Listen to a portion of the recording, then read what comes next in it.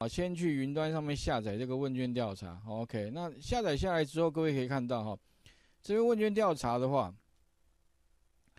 诶，理论上我们其实第一件事情，因为如果你要利用那个 Excel 里面的枢纽分析表帮你做分统计分析的话，那第一个哈，可能要注意就是说，你必须先把它原来的这些代号。把它转换成什么？转换成它实际上应该有的名称。那代号跟名称怎么做转换？那这里的话，当然会需要用到 VLOOKUP 函数。啊，另外的话就是它的那个对照表哦，其实就在这里了。它是放在清单里面。那也就是说呢，哈，它这边上面其实是会有一个啊，它的对应到它的哪一个栏位名称啊？然后底下的话呢，第一个第一个栏是它的代号。第二栏的话就是它的实际上的名称，哎，所以它蛮有规则性的哈。上面的哪一哪一个栏位名称，然后它的代号，它的实际的名称，哎，所以都一样，OK。所以其实还蛮规律的啦哈。但是呢，总共我记得好像有十四个栏位吧，哦，甚至以后如果你工作上会有更多，那可是问题哦，你要重复一直做，虽然微度函数已经很快了，但是呢，有没有什么方法更快？OK。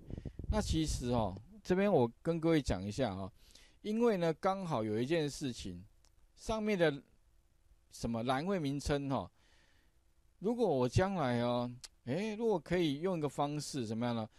先把，比如说性别好了，哎，那我可以先把这个性别对照到就是这个这个范围的话，那我再配合 indirect 呢哈。定义名称加上 indirect，哎，那实际上就可以很快的把我需要的名这个清单带到前面去。那我如果呢再配合什么呢？配合，因为它上面的名上面的栏位名称哈，如果跟我们的定义名称一样的话，哎，那我是不是可以向右向下一气就 OK 了？所以呢，首先的话，我们来看一下，我先把这边先输只输入一个好了，OK 哈。那首先的话呢，我们要改哪个地方？第一个的话，VLOOK 函数哈。那我们要改最重要是这个，就是 Table Array 了。那我就不切过来哦，而是我用定义名。那怎么定义名称？首先第一个哈，我就是先把性别这个名称，一般习惯这样，刚好这个是我要的名称，Ctrl C。它定位定义的是这个范围，所以把底下 A 二到 B 三选起来。再到定义名称的地方哦，点一下之后，把刚刚复制的内容“性别”两个字贴上，Enter 一下。也就是说呢，哈，性别指的就是这个范围。那同样的方法啦，年龄就 Ctrl C，哦，然后呢，再把底下这个范围选起来。这个的话呢，就表示它是年龄，Enter 一下。哦，那以此类推了哈。教育程度 Ctrl C，然后把底下的这个范围选起来。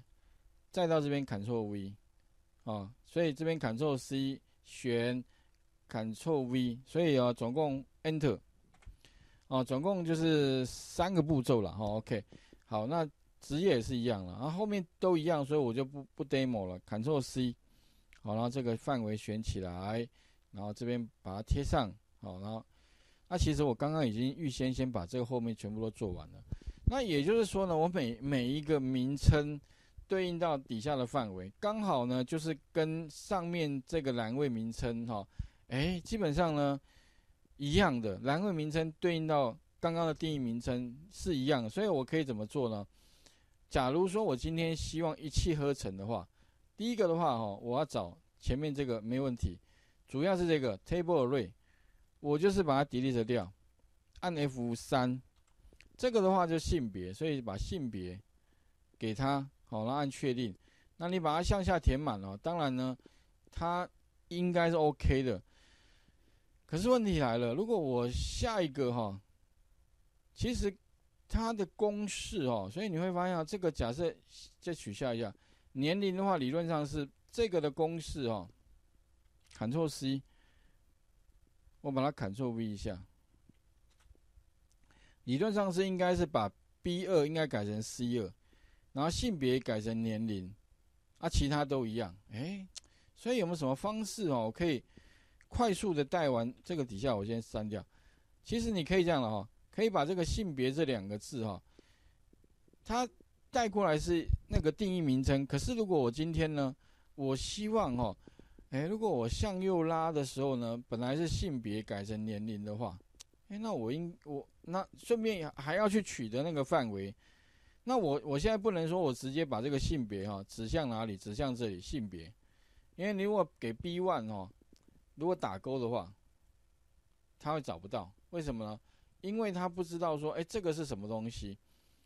他你给他的是性别两个字，他没有办法帮你直接变成你定义名称的那个范围。所以如果假设哦，你希望哈可以把上面两个名称转换成。你要的那个定义名称的范围的话，很简单，只要多接多做一件事，就是用 indirect 函数前刮弧，再加一个后刮弧。OK，那这样的话呢，哈，你把它按确定之后的话，哦，啊，另外还有一点可能要注意一下，前面有讲过哈，indirect 里面呢一定要什么？哎，不不。好，这按确定就可以。indirect 哈，indirect 字拼错了，难怪资料没过来。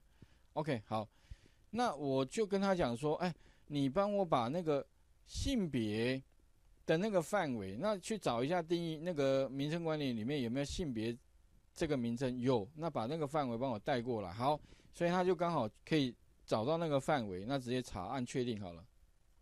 好，那你会发现哦，哎，查到了，底下向下填满。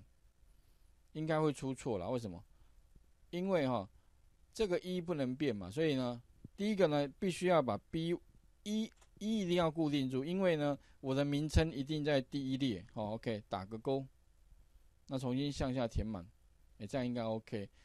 那再来的话哈，哎，如果我今天希望向右能够填满，向右的话呢，那理论上它应该就会把原来抓性别。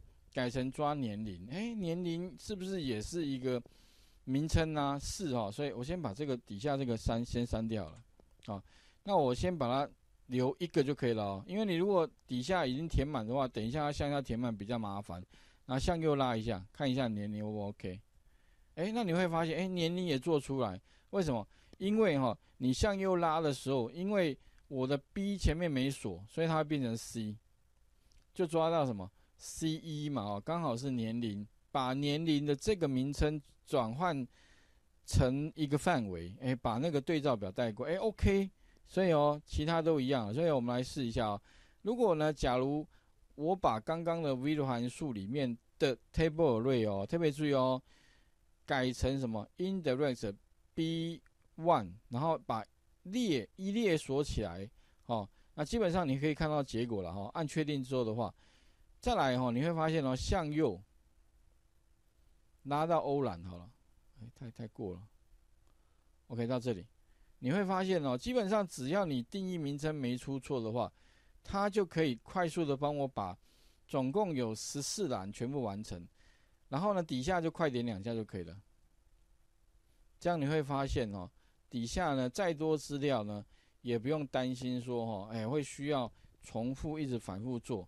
一次就搞定了，OK，那请各位哈试试看，这个其实用 indirect 配合什么定义名称，哎，真的是方便许多。以后呢，你如果工作上很多类似的状况，哎，都可以 indirect 配合定义名称，这样子的话就很快完成。然后把重点回顾一下哈，第一个的话呢哈，我们原来的那个名称是用这样。所以第一个啦，先定义名称，把这边的定义名称先定义好。这个 Ctrl C 选范围，在上面 Ctrl V 贴上 Enter，OK 好，那总共会有十四个清单，所以要做十四次。第二步的话呢，因为性别就指的是这个范围，所以呢，我们就直接把这边呢本来是切过去的那个范围改成什么？直接就是这个名称性别，OK 好。那将来呢？哎，特别重要。第一个定义名称，第二个的话，indirect，indirect，因为呢，我如果要把一个文字哈转换成一个范围的话，那这个时候的话哈，特别注意哦，就要用 indirect。所以哦，我们第二件事的话，就是把这个这个哦，把它改成 indirect。然后前刮弧嘛哈，啊指这个 B one，然后刮弧啊，记得要把第一列一把它锁起来，那 B 不要锁，为什么 B 不要锁？因为哈 B 你要向右拉变 C 嘛，C 就是年龄哈，以此类推，好了之后呢，打勾之后啊，你就向右拉到欧蓝，再快点两下。哇，这样感觉还蛮好的，一次就全部做完了。好，那请各位试试看好了哦。那把画面呢再停止共用一下好了。OK，哦。那这个做完之后的话，哈，理论上呢，我们就可以再做后续的做那个，比如说我要分析，哎，到底哈这个杂志里面呢，哈，到底呃。这个问卷的调查里面的人哦，到底哪一个性别人比较多哦，或者哪一个年龄层人最多？还有学历啦，诶，哪一个行业别啊，职业啊，还有收入哪最多？然后订阅的次数最那，比如说你要做这些统计分析，或甚至是交叉分析哦，那就简单了。可是如果你前面前置作业没做好，那后面枢纽分析表根本没办法做了哈，所以其实有时候枢纽分析表很好用，但是如果你提供给他的资料格式不正确的话，那很抱歉，你根本没办法，好没办法用那枢纽分析表哦。那请各位试试看哦。